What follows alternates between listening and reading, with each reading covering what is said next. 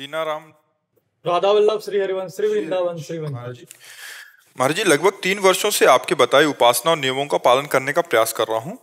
ये दास भारतीय थल सेना में सेवारत है। गुरुदेव जब से आपका सानिध्य प्राप्त है तब से अभी तक किसी भी प्रकार से नियम में कोई रुकावट नहीं हुई। गुरु कृपा से ये संभव हुआ। महाराज जी अब इस दास की पोस्टिंग ऐसी जगह हो गई है जहाँ पानी के नाम पर बर्फ़ ही बर्फ़ है और माइनस डिग्री में ठंडी है जहाँ ये नियम और नित्य पाठ हाँ, बाहरी नियम की कोई आवश्यकता नहीं। आप हमारे भारतीय सेना में हैं बाहरी नियम की कोई आवश्यकता नहीं। एक नियम बना लो नाम न छूटने पावे। और जहाँ भी हो, जैसे भी हो, राष्ट्र सेवा में प्राणों को अर्पित करते हुए लगे रहो, बढ़िया मंगल हो जाएगा, इसमें कोई परेशानी नहीं। नहाना धोना कोई भक्ति का लक्षण नहीं है। आप समझ रहे ना? खास बात है मन। सावई मन, कृष्ण पदार हो किसी भी परिस्थिति में है, परिस्थिति हमारी स्थिति को नहीं बदल सकती। स्थिति परिस्थिति को रौंदती है। वही जवान है, वही वीर है, वही निष्कामी धर्म वाला पुरुष जो परिस्थिति के अनुसार नहीं बदलना है। स्थिति हमारी रहेगी, परिस्थिति तुम्हारी रहेगी। और हर परिस्थिति को रौंद कर अपनी स्थिति में रहेंगे, यही हमारी भक्ति है। अंदर से राधा राधा जप रहे और बाहर से हर कष्ट को सहते हुए राष्ट्र सेवा में प्राण अर्पित किए यही बहादुरी है, यही बहुत बड़े धर्म का पालन है। आप बिल्कुल विचलित मत हो। अपवित्रा पवित्रो वा सर्वावस्थांग तो पिवा। या स्मृत पुंडरी काक्षम सवायाभ्यंतरा शुचि। वायुभ्यंतर दोनों से पवित्र होता जो कमल नयन। भगवान श्री हरि का स्मरण करता है, प्रियाजू का स्मरण करता है। बहादुर की तरह रहो। संकोच नहीं, किसी भी तरह की रुकावट नहीं। ये हम बाहर हैं, सुविधा है, नहा लेते नई सुविधा बिल्कुल नहीं नहाएँगे। महीनों नहीं नहाएँगे। अंदर से भगवान का स्मरण थोड़ी कोई रोक लेगा।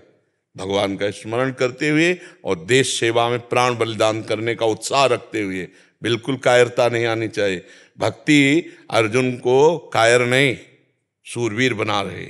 इसीलिए गीता जी का उपदेश किया कि अपने कर्तव्य का पालन करते हुए मामनुस्मर युद्ध च मेरा स्मरण कर और युद्ध कर ललकार कर। तो जहाँ जैसी परिस्थिति आवे अपनी स्थिति के द्वारा उसे रौंदते हुए हम निकल जाएँ। परिस्थिति हमको न रौंद दे। बस ये बात ध्यान रखना। ठीक है? हाँ। जहाँ तक हो सके आहार विहार पर ध्यान रखिए कि थोड़ा पवित्र रहे। हाँ बकाया जैसी भी परिस्थिति है उसमें निपटो खूब नाम जप करो हमारी देश सेवा में रहो। गुरुदेव जैसे इस परिस्थिति में वाणी पाठ वगैरह अभी जैसे जितने पद याद हों जितने पद याद हों तो बस वो अंदर गुनगुना रहे कर अगर समय है तो राधा वल्लभ राधा वल्लभ राधा वल्लभ पवित्र हो गए नहा लिए पाठ करो वाणी का। समझ लिए ना? जी मोबाइल ऐप से भी कर सकते हैं? हाँ मोबाइल से भी कर सकते हैं। हम, हमारे जवान कई दुर्गम इलाकों में ऐसे परिस्थिति में ड्यूटी देते जहाँ तंग इलाके हैं, सकरा रास्ता है। तो कई बार मौसम या ऐसी परिस्थिति में गाड़ियाँ स्लिप होकर कई हज़ारों फीट खाई में चली जाती है। कई बर्फ़, ऐसे इलाके हैं जहाँ से बर्फ़ स्लाइड होके पूरी की पूरी शिविर को ढक दिया।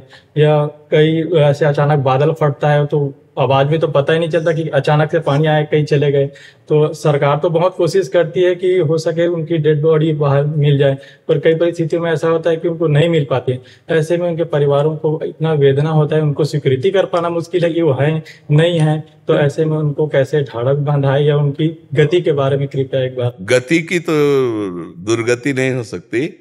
गति की तो कोई बात नहीं, पर यह ज़रूरी बात है कि परिवार के जनों को कैसे पुष्टता मिले कि उनका शरीर है या वो नहीं है।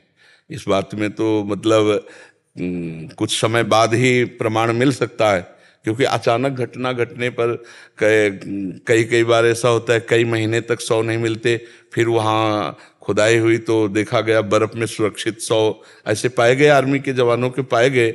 हाँ तो हाँ काफ़ी लंबे समय तक चूँकि बर्फ़ में शरीर नष्ट होता नहीं, वो सुरक्षित रहता है। तो अब यही तो हमारे देशवासियों को प्रणाम करने का हृदय बार बार करता है, जिनके परिवार से लोग आर्मी में हैं, हमारी देश सेवा में हैं, कि कब वो बिछुड़ जाए वो अपने परिवार से और अपने जीवन से इसकी परवाह न करके हमारी देश रक्षा इसीलिए जैसे हम संत का सम्मान करते हैं, वैसे सैनिक का सम्मान करते हैं। और ये हमारी बात पर विश्वास रखना, जो राष्ट्र पर प्राण बलिहार करता है, वो स्वर्ग को प्राप्त होता है। और जो नाम जप करते हुए शरीर छोड़ता है राष्ट्र सेवा में, वो परम पद को प्राप्त होता है। तो इसमें हानि तो है ही नहीं दोनों में। अगर वो भगत नहीं रहा है तो भी अपने राष्ट्र के लिए तो रहा ना। और अचानक कोई घटना घट जाती है, शरीर पूरा हो जाता है, आतंकी हमले से या प्राकृतिक हमले से तो हम ये तो नहीं कहते भगवत प्राप्त होंगे, लेकिन वो स्वर्ग को प्राप्त होंगे। भगवान ने कहा है कि अगर तू जीतेगा तो भूमि का राज्य मिलेगा और शरीर छोड़ेगा तो स्वर्ग मिलेगा, क्योंकि वीर वीरता पूर्वक वो राष्ट्र सेवा में है, संपूर्ण राष्ट्र सेवा में है। इसलिए चिंता की तो कोई बात है नहीं, पर उनके परिवार को समझाया नहीं जा सकता। क्योंकि उनके हृदय में जो मोह है, जो अपनापन है, जो और वो पता चले कि कोई खबर ही नहीं है तो व्याकुल तो रहेंगे ही, या खबर मिले कि वो शांत हो गए उनके लिए बहुत बड़ी हानि का विषय होता है, और वो बहुत दुख से युक्त रहते हैं, इसलिए हमारे सरकार भी पूरे, उनके परिवार की व्यवस्था करती है। तो अब जीवन तो वैसे जाना ही है। अगर राष्ट्र के लिए जा रहा तो उत्साहपूर्वक देना चाहिए। क्या उसमें संकोच का विषय नहीं रखना चाहिए? उसमें निराशा नहीं आनी चाहिए। उदासी नहीं आनी चाहिए। बिल्कुल बिल्कुल। हमारा स्थान तो सुरक्षित हो गया गुरुदेव। आप निकुंज में ही जाने आपके हाँ हाँ नाम जब करते रहोगे ना पक्का कहीं भी हो कहीं भी हो आप निश्चिंत रहिए। हम राष्ट्र सेवा में बहुत श्रद्धा रखते हैं। जो राष्ट्र सेवा में है, हम जान, जैसे एक संत माला लेकर भजन करते हुए जगत मंगल की सोचता है, ऐसे वो राइफल लेकर के भारत के मंगल के लिए प्राणों की बलिदान की स्थिति में तैयार रहते हैं तो हम पक्का, हम लोगों का जो भजन है ना, वो आप ही लोगों के लिए है।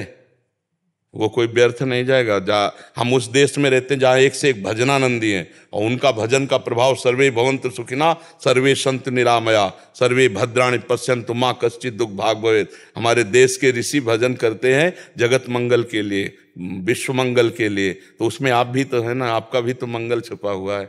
आप निश्चिंत रहिए, राष्ट्र सेवा में समर्पित तो स्थिति ऐसे है कि पहले तो लोग देख के मूवी देखते थे, कोई और वीडियो देख रहे हैं। अब ऐसे हमारे जवानों में बहुत सी, मैं खुद जाके अपने साथ के बंदों में देखता हूँ, वो बैठ के गुरुदेव का सत्संग सुन रहे हैं, और वो वाणी पाठ कर रहे कोई और कुछ कर रहे तो ऐसे इतना मतलब जवानों में इतना सुधार है इतना जोश है गुरुदेव साहब, गुरु चरणों को हाँ नहीं, भगवान सबका मंगल करे, सबका मंगल भगवान करते